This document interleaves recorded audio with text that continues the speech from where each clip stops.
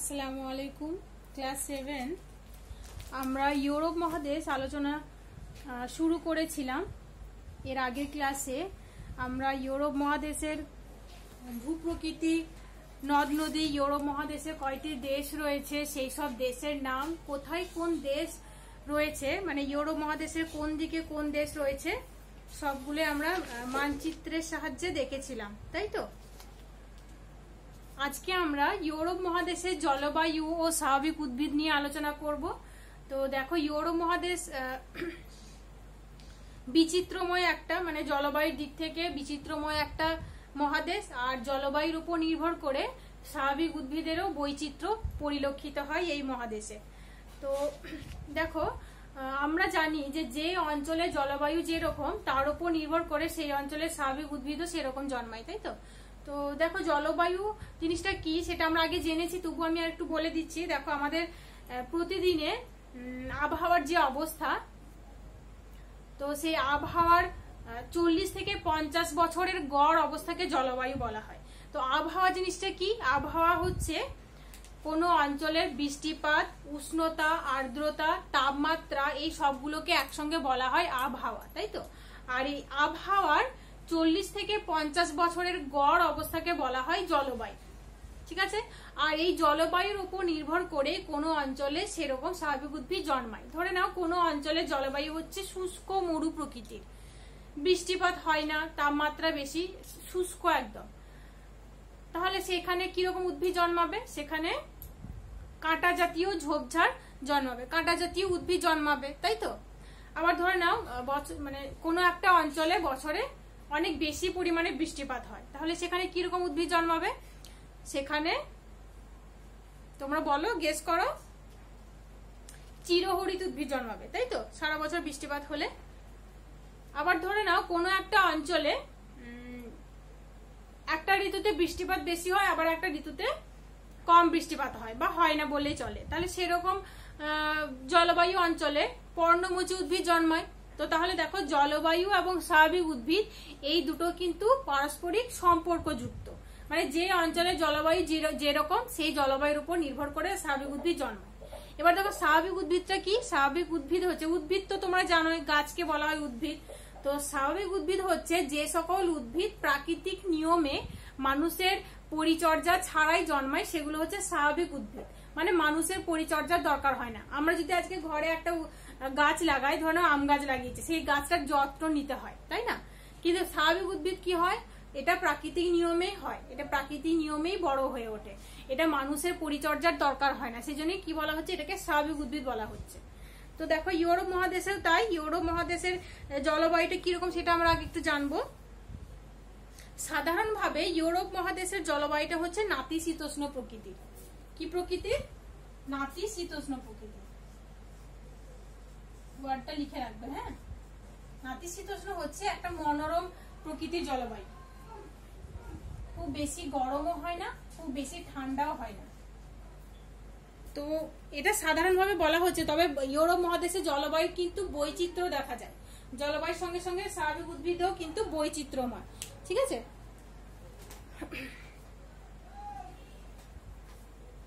তো দেখো, এই ইউরোপ মহাদেশে সারা বছরই কোনো না কোনো অঞ্চলে বৃষ্টিপাত হয়।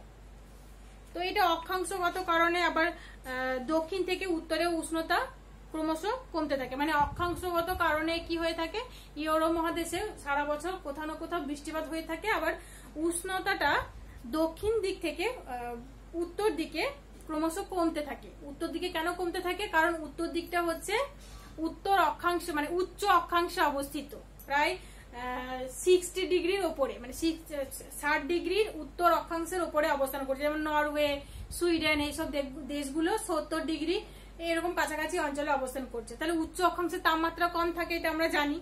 যত নিরক্ষরেখার কাছাকাছি অঞ্চল হয়, সেখানে কি হয়? তাপমাত্রা বাড়তে থাকে, তাই তো?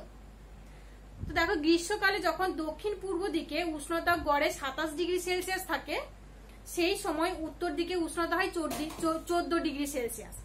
মানে দক্ষিণ দক্ষিণ পূর্ব দিকে যখন উষ্ণতা সাতাশ ডিগ্রি সেলসিয়াস থাকছে মানে উষ্ণতাটা একটু বেশি থাকছে, উত্তর দিকে সীমানা যেটা, সেদিকে উষ্ণতা কত থাকছে? চোদ্দ ডিগ্রি সেলসিয়াস থাকছে। তো গ্রীষ্মকালে কি হয়? বায়ুচাপ বলয়গুলি উত্তর দিকে সরে যায়। তো সেই জন্য উত্তর দিকে যেহেতু বায়ুচাপ বলয়গুলো সরে যায়, দক্ষিণ ইউরোপে শুষ্ক উত্তর পূর্ব আয়নবায়ু প্রবাহিত হয়। দক্ষিণ ইউরোপে কি বায়ু প্রবাহিত হয়? শুষ্ক আয়নবায়ু প্রবাহিত হয়। এটা তোমাদের কোশ্চেন আসতে পারে যে গ্রীষ্মকালে ইউরোপে দক্ষিণ দিকে কোন বায়ু প্রবাহিত হয়? তো শুষ্ক আয়নবায়ু প্রবাহিত হয়।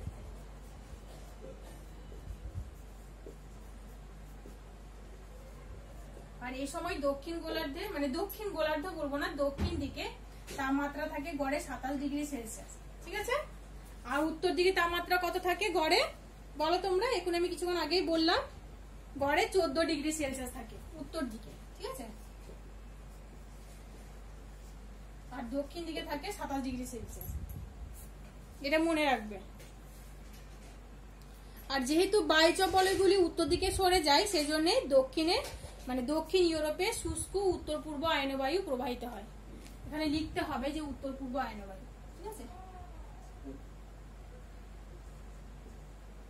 উত্তর পূর্ব আয়নবায়ু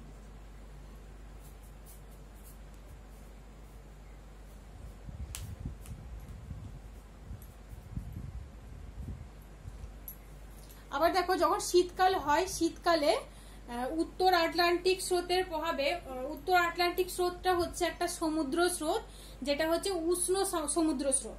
তো এই উষ্ণ সমুদ্র স্রোতের প্রভাবে পশ্চিম দিকে মানে ইউরোপ মহাদেশের পশ্চিম দিকে উষ্ণতা দশ ডিগ্রি সেলসিয়াসের মতো থাকে। তবে মধ্য পূর্বাংশে মানে ইউরোপ মহাদেশের মাঝখানটা যেটা, মধ্য পূর্ব ভাগ যেটা, সেখানে উষ্ণতা যথেষ্ট কমে যায়। শীতকালে তো উষ্ণতা কমবে, যেহেতু শীতকাল, তো আটলান্টিক স্রোতটা যেহেতু উষ্ণ স্রোত, এটা সামুদ্রিক স্রোত, ঠিক আছে? তো সামুদ্রিক উষ্ণ স্রোত, তো এই উষ্ণ স্রোতটা যেহেতু প্রবাহিত হচ্ছে সেই জন্য তার প্রভাবে পশ্চিমাংশের উষ্ণতাটা একটু বেশি থাকছে মানে দশ ডিগ্রি সেলসিয়াস থাকছে, তবে মধ্য দিকে, মধ্য পূর্ব দিকে উষ্ণতাটা যথেষ্ট কমে যায়। আর উত্তর পূর্ব সীমান্তে কি হয় আরও কমে গিয়ে হিমাঙ্কের নিচে তাপমাত্রা থাকে। হিমাঙ্কের নিচে বলতে মাইনাস চোদ্দ ডিগ্রি সেলসিয়াস তাপমাত্রা থাকে। মাইনাস চোদ্দ ডিগ্রি সেলসিয়াস। দেখো, মাইনাস যেখানে চোদ্দ ডিগ্রি সেলসিয়াস মানে উচ্চ অক্ষাংশে মাইনাস চোদ্দ ডিগ্রি সেলসিয়াস তাপমাত্রা হয়ে যায়, এটার অর্থ হচ্ছে তাপমাত্রা জিরো ডিগ্রি সেলসিয়াসেরও নিচে নেমে যায়, ঠিক আছে? মানে তাপমাত্রাটা এরকম হয়ে থাকে। এটা ধরে নাও জিরো ডিগ্রি এদিকে এক, দুই, তিন, এদিকে কমতে থাকলে এটা হয় minus one minus two minus three এরকম। মাইনাস মানে একদমই কমতে থাকবে, ঠিক আছে? তো এখানে যেখানে মাইনাস লেখা থাকবে, সেটা তোমরা মাইনাসটা অতি অবশ্যই লিখবে। মাইনাসটা না লিখলে সেটা কিন্তু প্লাস হয়ে যাবে, ঠিক আছে? তো মাইনাসটা অতি অবশ্যই লিখবে মাইনাস মানেই হচ্ছে হিমাঙ্কের নিচে, জিরো ডিগ্রি সেলসিয়াসের নিচে, ঠিক আছে?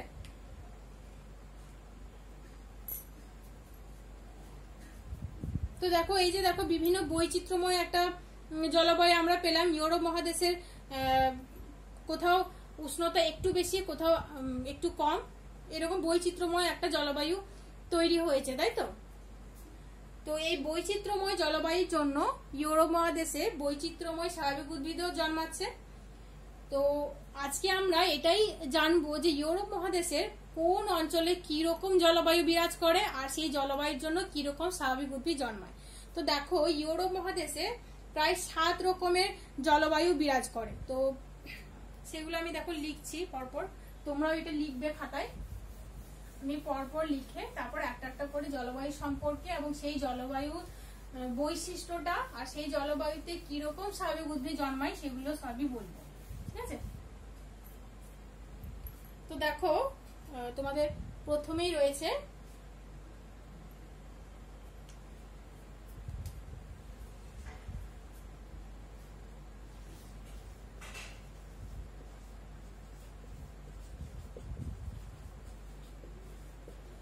তুন্দ্রা জলবায়ু ও তুন্দ্রা অরণ্য।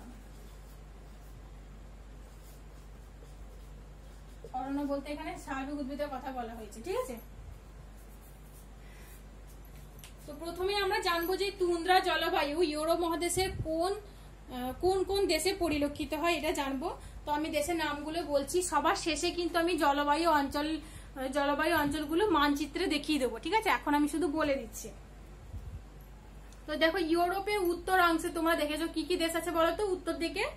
উত্তর দিকে রয়েছে নরওয়ে রয়েছে, সুইডেন রয়েছে, ফিনল্যান্ড রয়েছে এবং রাশিয়ার, রাশিয়া রয়েছে। তবে রাশিয়া পুরোটা নয়, রাশিয়ার উত্তর দিকে যে অংশটা, সেখানে এই তুন্দ্রা জলবায়ু বিরাজ করে। ঠিক আছে? তুন্দ্রা জলবায়ুটা কি রকম জলবায়ু?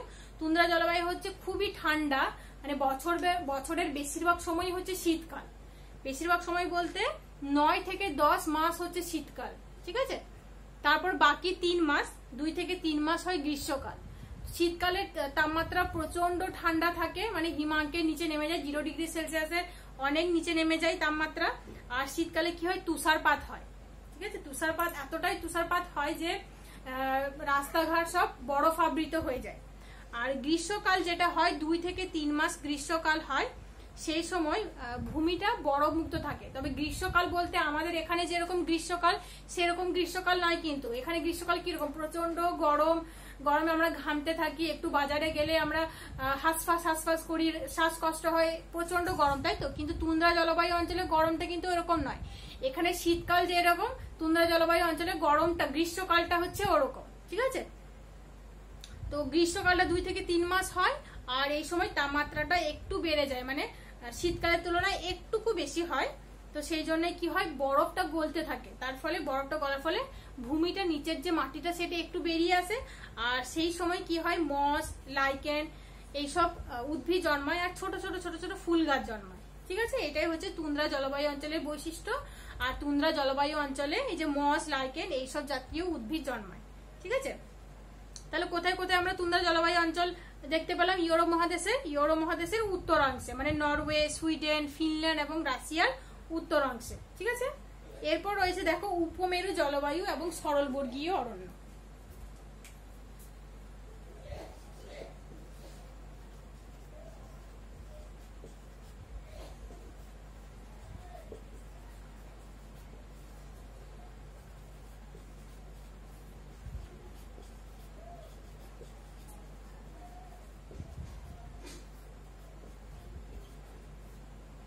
দেখো, যে সব দেশগুলিতে তুন্দ্রা জলবায়ু বিরাজ করছিল, যে নরওয়ে, সুইডেন রাশিয়ার উত্তরাংশ এই দেশগুলোতে কিন্তু উপমেরু জলবায়ু বিরাজ করে মানে কিছুটা কিছুটা দক্ষিণ দিকে মানে কিছুটা নিচের দিকে, ঠিক আছে? তো দেশের নামগুলো সেইগুলোই থাকবে, সুইডেন, ফিনল্যান্ড, নরওয়ে এবং রাশিয়ার রাশিয়ার কিছু অংশে এই উপমেরু জলবায়ু বিরাজ করে। এই উপমেরু জলবায়ুটাও অনেকটা কিন্তু তুন্দ্রা জলবায়ুর মতো মানে এখানে কিন্তু ছয় থেকে আট মাস শীতকাল এবং ভূমিভাগটা বরফে ঢাকা থাকে, তুষারপাত হয় বলে বরফে ঢাকা থাকে। আর গ্রীষ্মকালে কি হয়? এখানে অল্প বৃষ্টিপাত হয়। ঠিক আছে? শীতকালে এখানে কিন্তু তুষারপাত হয়, এটা অতি অবশ্যই লিখবে। এই জলবায়ুর প্রধান বৈশিষ্ট্য এটা। আর এই জলবায়ুতে কীরকম স্বাভাবিক উদ্ভিদ জন্মায়? এই জলবায়ুতে পাইন, লার্জ, ফার, তারপর বার্ডস, স্প্রুস, অলডার, এইসব নরম কাঠের জলবায়ু মানে নরম কাঠের স্বাভাবিক উদ্ভিদ জন্মায়। তো সেই উদ্ভিদগুলোকে কি বলা হয়? এই মানে এই স্বাভাবিক উদ্ভিদকে বলা হয় সরল বর্গীয় উদ্ভিদ। কি বলা হয়? সরল বর্গীয় উদ্ভিদ। উদ্ভিদগুলির নাম কি বললাম? Pine, larch birch fir, alder, spruce এগুলি। আর এই বনভূমিটা উত্তর দিক থেকে পূর্ব দিকে একটু প্রসারিত হয়েছে। আর পৃথিবীর বৃহত্তম বনভূমির নাম হচ্ছে তৈগা। এটা মনে রাখবে হ্যাঁ? পৃথিবীর বৃহত্তম বনভূমির নাম কি? তৈগা। তো এই বন সরলবর্গীয় অরণ্যটা কিন্তু পূর্ব দিকে একটু বিস্তার লাভ করে এই তৈগা বনভূমির সঙ্গে মিশে গেছে। আর দেখো, এই জলবায়ু অঞ্চলে মানে উপমেরু জলবায়ু অঞ্চলে চার থেকে পাঁচ মাস তাপমাত্রা থাকে দশ ডিগ্রি সেলসিয়াসের মতো। এটা গ্রীষ্মকাল মানে গ্রীষ্মকাল থেকে চার থেকে পাঁচ মাস থাকে। আর তাপমাত্রা থাকে দশ ডিগ্রি সেলসিয়াসের মতো। আর এখানে শীতকাল থাকে সাত থেকে আট মাস, আর তাপমাত্রা কত থাকে? পঁচিশ ডিগ্রি মানে মাইনাস পঁচিশ ডিগ্রি সেলসিয়াস থেকে মাইনাস পঁয়ত্রিশ ডিগ্রি সেলসিয়াস। তাহলে গ্রীষ্মকালে উষ্ণতা কত থাকে? দশ ডিগ্রি সেলসিয়াস।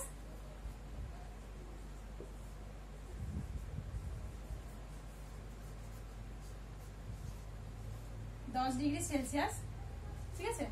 আর শীতকালে থাকে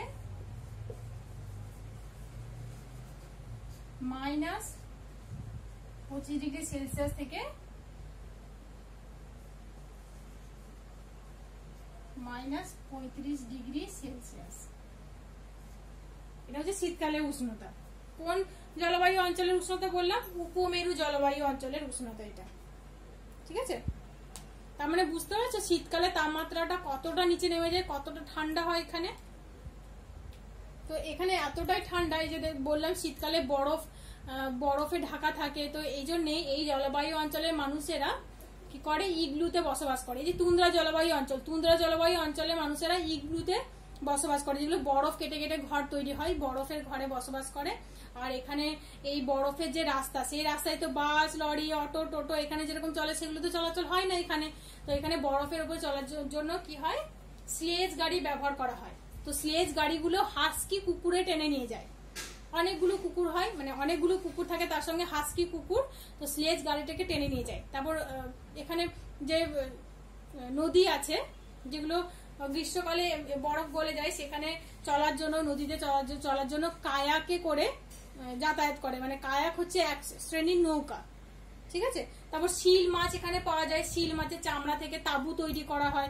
সেই তাবুতে মানুষ বসবাস করে। এখানকার মানুষ কিন্তু কঠিন পরিশ্রম করে প্রকৃতির সঙ্গে সংগ্রাম করে বেঁচে থাকে। অনেক কষ্ট করে, অনেক কষ্ট করা একটা পরিবেশ, ঠিক আছে? তুন্দ্রা জলবায়ুটা আর উপমেরু জলবায়ুটা দুটোই। দুটোই কিন্তু কষ্টকর মানে প্রচণ্ড ঠান্ডা, এতটাই ঠান্ডা যে এত কনকনে ঠান্ডায় আমরা টিকবো কিনা সেটা প্রশ্ন, প্রশ্নের কথা একটা।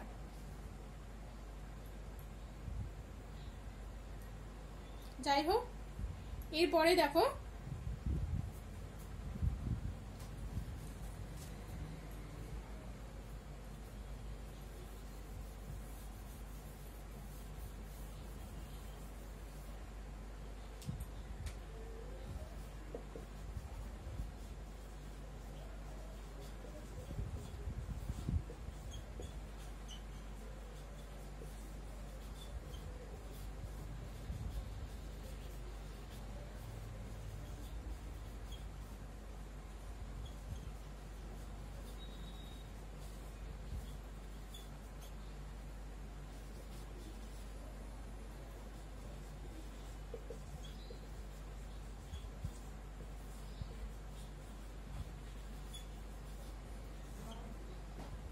পশ্চিম ইউরোপীয় জলবায়ু এবং নাতিশীতোষ্ণ পর্ণমোচী উদ্ভিদ।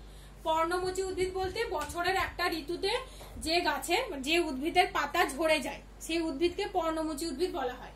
তো দেখো, পশ্চিম ইউরোপীয় জলবায়ু, এখানে দেখো পশ্চিম ইউরোপ লেখা রয়েছে, তার মানে ইউরোপের পশ্চিম দিকে এই জলবায়ু বিরাজ করে। ঠিক আছে? তো কোথায় কোথায় এই জলবায়ু বিরাজ করে? উত্তর পশ্চিম ইউরোপের ব্রিটিশ যুক্তরাজ্য যেটা সেখানে ব্রিটিশ যুক্তরাজ্য, তারপর পশ্চিম ফ্রান্স জার্মানির পশ্চিমাংশ, হল্যান্ড, ডেনমার্ক, বেলজিয়াম এবং নরওয়ের কিছু অংশে এই জলবায়ু বিরাজ করে।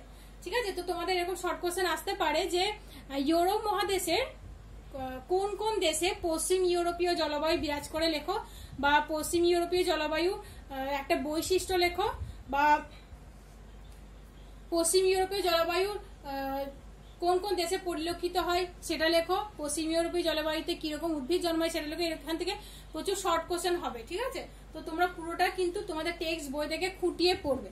তো যাই হোক, আমি আরেকবার বলে দিচ্ছি যে কোন কোন দেশে এই জলবায়ু বিরাজ করে। উত্তর পশ্চিম ইউরোপের ব্রিটিশ যুক্তরাজ্য। এটা কোন দিকে রয়েছে? ইউরোপের পশ্চিম দিকে। আমি তোমাদেরকে মানচিত্রে দেখিয়েছিলাম কিন্তু হ্যাঁ?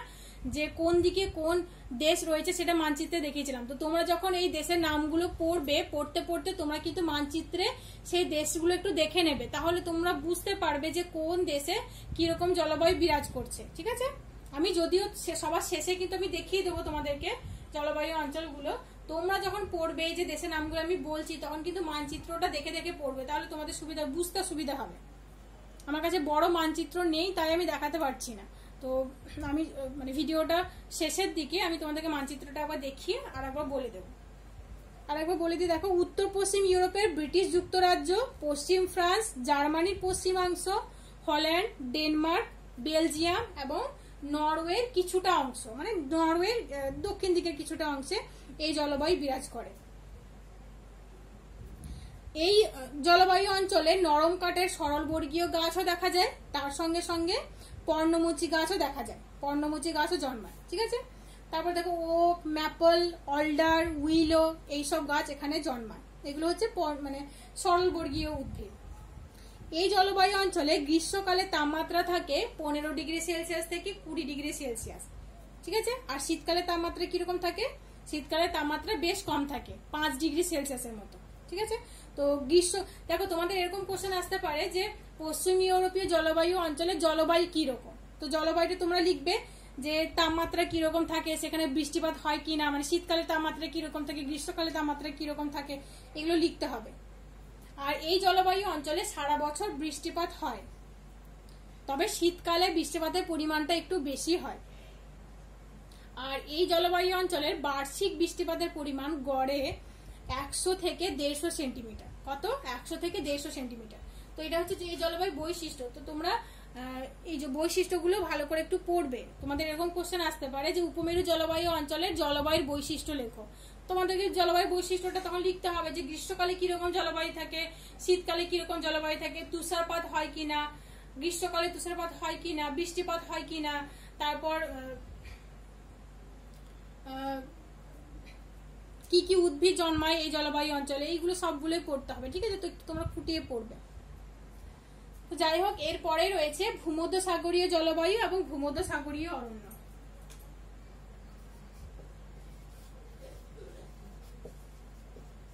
ভূমধ্য সাগরীয় জলবায়ু।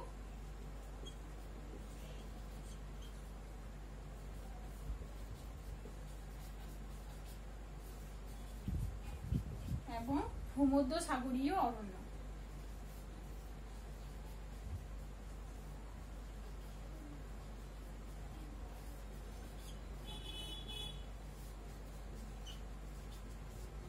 ভূমধ্য সাগর তোমরা দেখেছ মানচিত্রে। ইউরোপ মহাদেশের দক্ষিণ দিকে রয়েছে ভূমধ্য সাগর আর এই ভূমধ্য সাগরের কাছাকাছি যে দেশগুলো রয়েছে, সেই দেশগুলোতে এই জলবায়ু বিরাজ করে। কোন কোন দেশগুলো বলতো ভূমধ্য সাগরের কাছে কাছে রয়েছে। ইউরোপ মহাদেশের দক্ষিণ দিকে রয়েছে। দেখো একটু মানচিত্রটা দেখলে তোমরা বুঝতে পারবে। ইতালি রয়েছে, স্পেন রয়েছে, ফ্রান্স আছে, গ্রিস আছে, তাই তো? তো এই ইতালি, স্পেন, ফ্রান্স, গ্রিস, এইসব দেশে এই ভূমধ্যসাগরীয় জলবায়ু বিরাজ করে, ঠিক আছে? আর এই ভূমধ্যসাগরীয় জলবায়ুটা হচ্ছে খুবই মনোরম পরিবেশের একটা জলবায়ু। খুব বেশি গরমও থাকে না, খুব বেশি ঠান্ডাও থাকে না। এই জলবায়ু অঞ্চলে গ্রীষ্মকালীন উষ্ণতা থাকে একুশ ডিগ্রি সেলসিয়াস থেকে সাতাশ ডিগ্রি সেলসিয়াস। এবং শীতকালে উষ্ণতা থাকে পাঁচ ডিগ্রি সেলসিয়াস থেকে দশ ডিগ্রি সেলসিয়াস। ঠিক আছে? আর এই জলবায়ু অঞ্চলে বৃষ্টিপাতের পরিমাণ হচ্ছে চল্লিশ থেকে পঁচাত্তর সেমি কত? চল্লিশ থেকে পঁচাত্তর সেন্টিমিটার। তবে বৃষ্টিপাতের পরিমাণ হচ্ছে শীতকালে বেশি। মানে শীতকালেই বেশি বৃষ্টিপাত হয়ে থাকে। গ্রীষ্মকালে খুবই কম হয়। তো সেই জন্যেই ভূমধ্যসাগরীয় জলবায়ু অঞ্চলকে শীতকালীন বৃষ্টিপাতের দেশ বলা হয়। কি বলা হয়? শীতকালীন বৃষ্টিপাতের দেশ। এটা মনে রাখবে। তোমাদের এরকম কোশ্চেন আসতে পারে যে কোন জলবায়ু অঞ্চলকে শীতকালীন বৃষ্টিপাতের দেশ বলা হয়? শীতকালীন বৃষ্টিপাতের দেশ। যেহেতু শীতকালে বৃষ্টিপাত হয়। তো এই এই জলবায়ু অঞ্চলটা এতটাই মনোরম এবং সমভাবাপন্ন প্রকৃতির যে বছরে, সারা বছরে অনেক পর্যটকরা এই জলবায়ু অঞ্চলে ভ্রমণ করতে যায়। ঠিক আছে?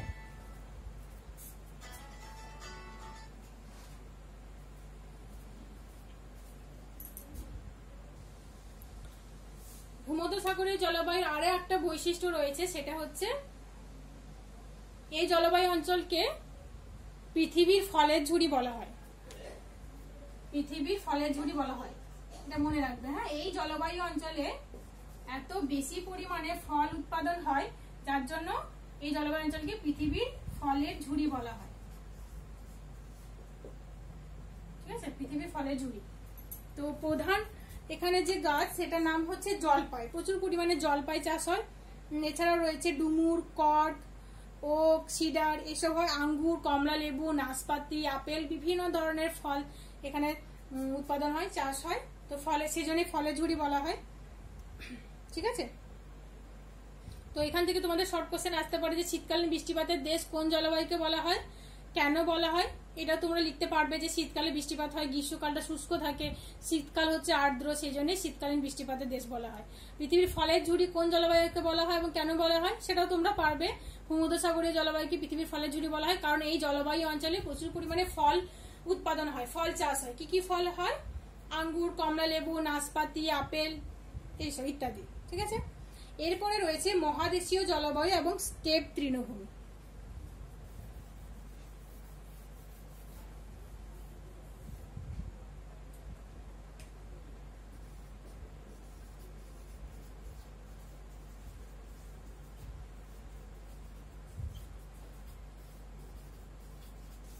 মহাদেশীয় জলবায়ু এবং স্টেপ তৃণভূমি। দেখো, এখানে তৃণভূমি লেখা রয়েছে। তার মানে এখানে ঘাস জন্মায়। তৃণভূমি মানে হচ্ছে ঘাস, ঠিক আছে? এখানে বড় স্বাভাবিক উদ্ভিদ জন্মানো এখানে ঘাস জাতীয় উদ্ভিদ জন্মায়।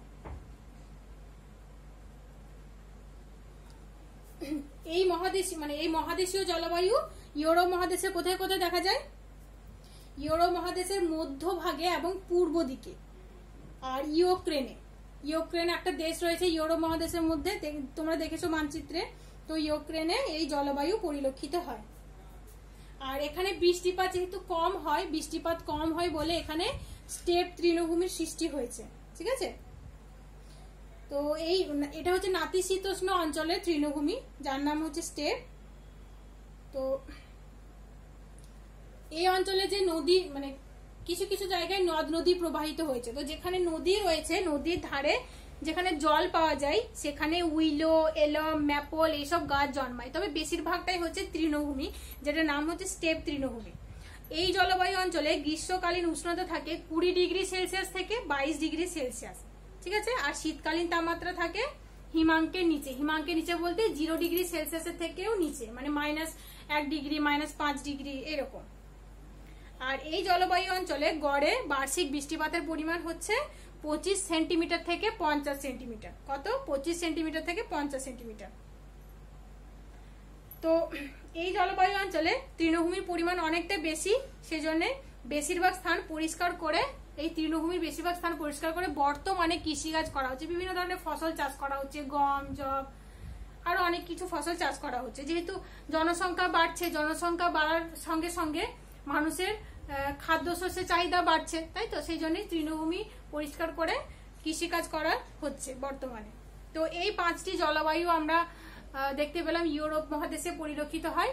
কি কি জলবায়ু? তুন্দ্রা জলবায়ু, তার সঙ্গে তুন্দ্রা অরণ্য সৃষ্টি হচ্ছে, উপমেরু জলবায়ু এবং সরলবর্গীয় অরণ্য, পশ্চিম ইউরোপীয় জলবায়ু এবং নাতিশীতোষ্ণ পর্ণমোচী উদ্ভিদ, আর চার নম্বর হচ্ছে ভূমধ্যসাগরীয় জলবায়ু এবং ভূমধ্যসাগরীয় অরণ্য পাঁচ নম্বর হচ্ছে মহাদেশীয় জলবায়ু এবং স্টেপ তৃণভূমি, ঠিক আছে? তো তোমরা তোমাদের টেক্সট বইটা থেকে পুরোটাই ভালো করে খুঁটিয়ে পড়বে। আর যদি তোমাদের অসুবিধা হয়, তোমরা ছক ছক করে নিতে পারো, একটা ছকের সাহায্যে লিখে নিতে পারো, বা ছকের সাহায্যে তোমরা লিখে আমাকে দেখাবে। ছকটা তোমরা এইভাবে করবে আমি একটু বলে দিচ্ছি। এই জলবায়ু অঞ্চলের নামগুলো ধরে নাও এখানে লিখলে, একটা ছকে এইভাবে লিখলে। এই একটা ছকের মধ্যে এখানে জলবায়ু অঞ্চলের নামগুলো লিখলে। তার সঙ্গে এখানে জলবায়ু এখানে জলবায়ু অঞ্চলের নাম এখানে উপরে লিখবে। এটা হচ্ছে জলবায়ুর বৈশিষ্ট্য। স্বাভাবিক উদ্ভিদ কি কি জন্মায়? আর কোথায় কোথায় পরিলক্ষিত? আগে দেশের নামগুলো লিখবে যে কোথায় কোথায় পরিলক্ষিত হয় স্থান, তারপর জলবায়ু বৈশিষ্ট্য আর কি কি স্বাভাবিক উদ্ভিদ জন্মায়। তাহলে কটা ইয়ে মানে কলম করবে এক এক, দুই, তিন, চার। চারটা করলেই হবে। এখানে এক নম্বর দিয়ে লিখলে তুন্দ্রা জলবায়ু, তুন্দ্রা অরণ্য, ঠিক আছে? কোথায় কোথায় দেখা যায় সেটা? নরওয়ে, সুইডেন, রাশিয়ার উত্তরাংশ, এইসব দেশে মানে ইউরোপের নরওয়ে, সুইডেন, রাশিয়ার উত্তরাংশে পরিলক্ষিত হয়। লিখলে এই জলবায়ুর বৈশিষ্ট্য তোমরা লিখলে, শীতকালীন তাপমাত্রা হিমাঙ্কের নিচে নেমে যায়, গ্রীষ্মকালীন তাপমাত্রা থাকে প্রচণ্ড ঠান্ডা, গ্রীষ্মকালে বরফ গলে গিয়ে ভূমি মানে উন্মুক্ত হয়। আর এখানে উদ্ভিদের নাম লিখলে যে মস লাইকেন এইসব উদ্ভিদ জন্মায় গ্রীষ্মকালে জন্মায়। যখন গ্রীষ্মকালে বরফ মুক্ত হয়ে যায় ভূমিটা, তখন জন্মায়। তো এইসব উদ্ভিদের নামগুলো লিখলে এরকম করে করে প্রত্যেকটা মানে পাঁচটায় লিখলে, পাঁচটায় উদ্ভিদের মানে জলবায়ুর নাম এখানে লিখলে, এখানে স্থান লিখবে মানে দেশের নামগুলো লিখবে, এখানে জলবায়ু বৈশিষ্ট্য লিখবে, এখানে আর এখানে লিখবে উদ্ভিদের নাম। এরকম একটা ছক করে আমাকে চেক করাবে। হ্যাঁ ছকের সাহায্যে করলে তোমাদের কিন্তু বুঝতে সুবিধা হবে। ছক করে করে করবে, ঠিক আছে? তো সবাইকেই বলছি, তোমরা ছকটা লিখে আমাকে দেখাবে। ছকটা কিন্তু তোমরা টেক্সট বই দেখে দেখেই করবে, নিজের মতো করে লিখবে হ্যাঁ? তো আমি তোমাদেরকে মানচিত্রটা একটু দেখিয়ে দিই।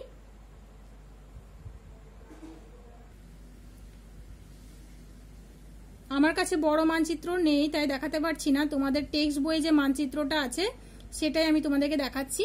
দেখো, এখানে লেখা রয়েছে, এখানে রয়েছে তুন্দ্রা বনভূমি। এই যে রং দেওয়া আছে, দেখো, তুন্দ্রা বনভূমি এখানে দেখানো হয়েছে। ইউরোপ মহাদেশের উত্তর দিকে এখানে রয়েছে নরওয়ে, সুইডেন, ফিনল্যান্ড, রাশিয়ার উত্তরাংশ, তাই তো? তো এখানে তুন্দ্রা বনভূমি দেখা যায়। তারপরে রয়েছে, দেখো, উপমেরু অঞ্চল, সরলবর্গীয় বনভূমি, তাই তো? তো সরলবর্গীয় বনভূমি তার একটু দক্ষিণ দিকে মানে এই অঞ্চলের একটু নিচের দিকে। এই অঞ্চলটায় দেখা যাচ্ছে এই চিহ্নটা, এই এই রঙের যে, যেটা দেখা যাচ্ছে মানে হালকা সবুজ যেটা, এই পুরোটাই হচ্ছে উপমেরু, জলবায়ু এবং সরলবর্গীয় অরণ্য। সুইডেন, ফিনল্যান্ড, নরওয়ে এবং রাশিয়ার কিছু অংশ। ঠিক আছে? তারপরে রয়েছে দেখো পর্ণমোচী উদ্ভিদ। পর্ণমোচী উদ্ভিদ কোথায় দেখা যাচ্ছে? এই যে ইউরোপ মহাদেশের পশ্চিম দিকে যেটা, সেদিকে হচ্ছে পর্ণমোচী অরণ্য। মানে যেখানে পশ্চিম ইউরোপীয় জলবায়ু এবং নাতিশীতোষ্ণ পর্ণমোচী অরণ্য পরিলক্ষিত হচ্ছে এই জায়গায়। কোথায়?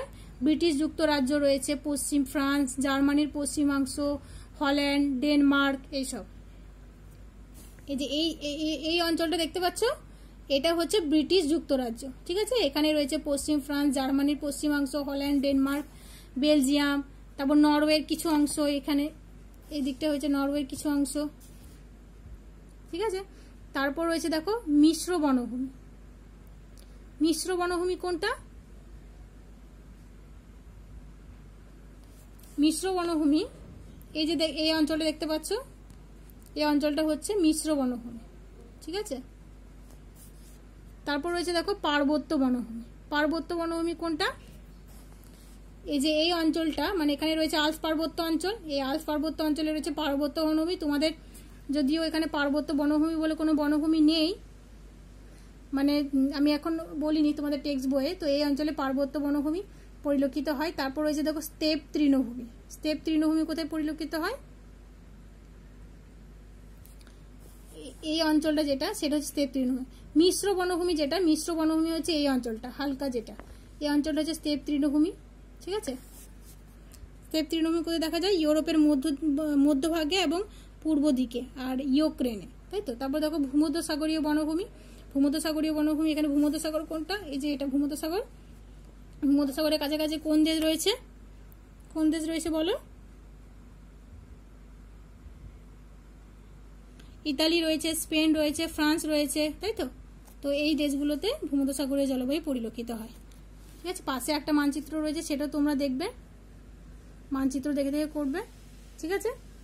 এই যে মানচিত্রটা, একটা জলবায়ু মানচিত্র, তার পাশে রয়েছে স্বাভাবিক উদ্ভিদ, এই দুটো